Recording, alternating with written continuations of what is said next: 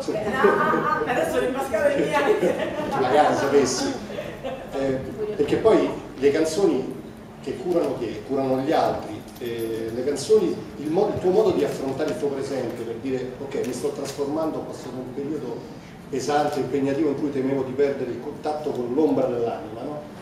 eh, adesso però sono oltre, questo è un messaggio che arriva anche a loro, oltre alla bellezza delle canzoni, qualche cosa che tu regali a loro e che loro a loro volta sentono proprio, fanno proprio, no? Sì, sempre. sarebbe bello perché... È bello. Cioè. È bello perché è il senso delle canzoni, no? E, sono molto contenta quando ci sono delle persone che mi dicono ah ma sai questa canzone mi ha aiutato a superare un momento... Perché la musica realmente ha questo, ha questo potere e anche le persone che cantano così per, per diletto non dovrebbero mai smettere di farlo perché è un modo veramente bello di, eh, di poter...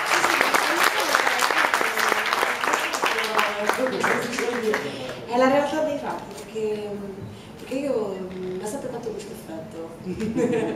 di... Hai la fortuna di poterlo fare, no? Beh, io ho la fortuna che, che, che insomma... Di poterlo fare nel senso di avere il talento, non, non la carriera che venuto dopo. Sì, ma anche in realtà è molto bello sentirsi anche seguito, il fatto di... Eh, di sentirsi in qualche modo, in qualche modo fatto che se tu fai una cosa, scegli una cosa con, con gusto e gli altri che ti condividono, è molto bello anche questo, insomma. Poi non è che uno deve per forza seguire i gusti degli altri, perché poi perde un po' la, la rotta. Però è bello, bella questa cosa mi piace molto. Moltissimo. Allora, adesso che cosa regali a loro? E... Facciamo un pezzo di mio ma che è un menù? Allora, che volete?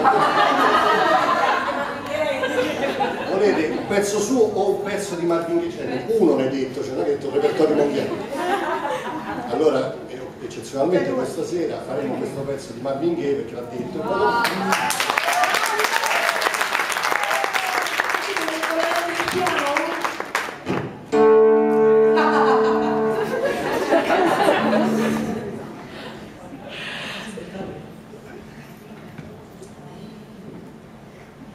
Mm-hmm.